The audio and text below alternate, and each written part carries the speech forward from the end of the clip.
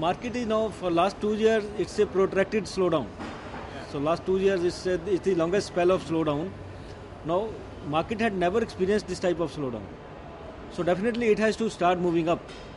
Uh, there are some positive indications, of course, coming from various uh, macro factors. For example, with good monsoon, inflation should start coming down. Already we have seen some, uh, you know, uh, some uh, reduction in uh, CPI index in last uh, one or two months. Similarly, uh, trade deficit is come under control now. The exports are going up with rupees stabilizing at 62, 63 rupees. Similarly, uh, the fiscal deficit, we are getting good reports from government that they will be able to contain at 4.8% for the year. And then when the new government comes into place, so it's, uh, I would say, uh, there is more and more impatience coming in various, uh, at various levels, in industry as well as in the government side, to uh, start, uh, you know, uh, taking the right steps which will, uh, which will boost the industry. So I, I see that the things will start improving after the new government comes into place. Already you would have seen some movement in the decision making. Uh, government is also you know becoming very active in clearing the long held uh, files in some of the departments. Mining uh, sector there is a lot of action is on because mining is very very critical. It's a core sector. A lot of uh, you know the entire slowdown started with the mining uh, ban coming into place. So hopefully I am very optimistic that the things will start improving in next six months. But as of now, uh, still the market is quite down.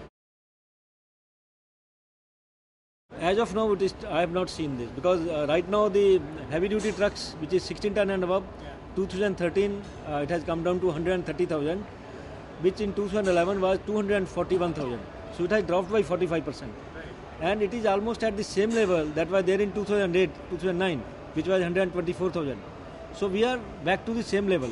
If you look at monthly volumes, we are at around 10,000, 11,000 per month, which is very low. Similarly, in light and medium duty, which is 5 to 14 ton, we are right now at 5,000 per month, which in normal months it used to be 10,000 per month. So right now the industry levels are, I would say, at the, you can say at the lowest ebb. That's the current current situation is like that. Basically, if you look at this growth, what is this? Uh, the, the Indian uh, economy, the potential continues to be very large.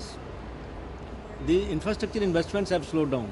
For example, the investments in the road sector or uh, in the mining sector. There, there are a lot of slowdown in th- these uh, hardcore infrastructure areas.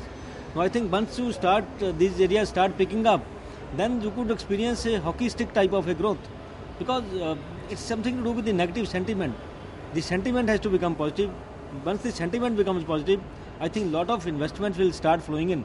Right now, everyone is holding back to you know to make investments, new investments in the uh, in their ventures.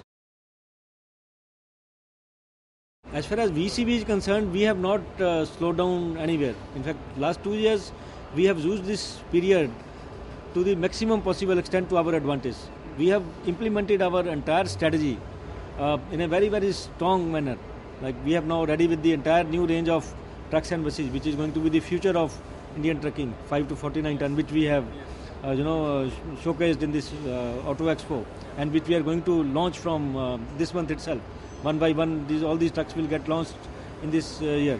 Apart from that, we have already started supplying engines, Euro 6 compliant engines to Volvo Group. We have one of the world's best plant, uh, engine plant in Pithampur. We have set up bus body plant. We have set up another gear plant.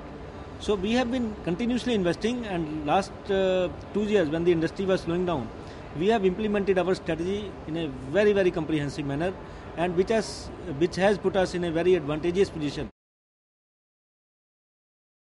Exports right now we are exporting a lot to India-like markets, which is South Asia, Bangladesh, Nepal, Sri Lanka, some countries of Africa, some countries of Middle East.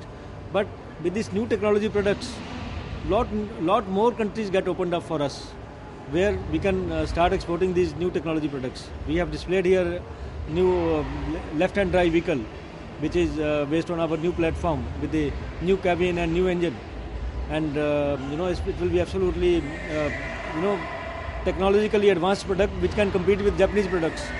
So so this is this is the product which will go in um, uh, you can say the developed markets in uh,